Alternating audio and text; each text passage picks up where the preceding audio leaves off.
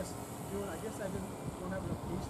You got to kick it in and, and like you know, you would do the clock method.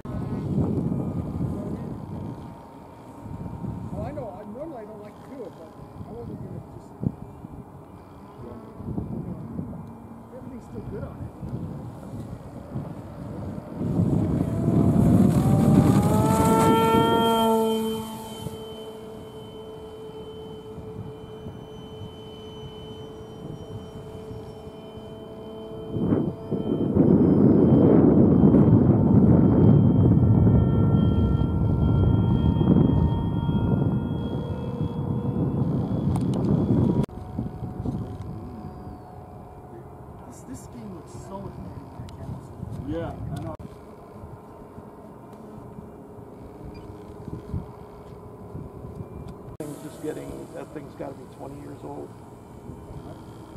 So it's a replacement.